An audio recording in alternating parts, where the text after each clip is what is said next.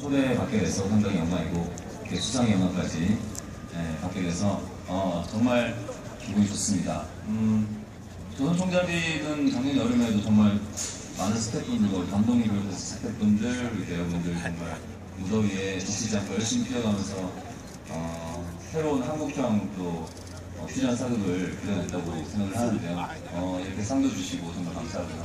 한류 배우상이니까 어, 책임감이 큰 것 같습니다. 어, 한국 드라마를 사랑해주시는 많은 분들이 계시다는 거에 제가 이 시대에 태어나서 배우로서 활동한다는 게 정말 축복받은 삶인 것 같고요. 음, 앞으로 더 책임감 있게 더 성실히 우리 한국 드라마를 알릴 수 있도록 배우로서 예, 노력하면서 생활하겠습니다.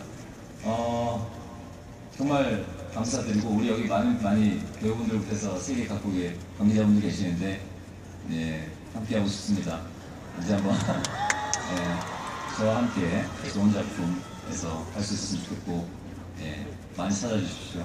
진심으로 감사드리고 한국 드라마 많이 사랑해 주시기 바라겠습니다. 감사합니다. 네, 이준규 씨, 한명 씨 축하드리겠습니다. 네, 축하드립니다. 네, 다음은 아시아 드라마 부문 시상이 있겠습니다. 그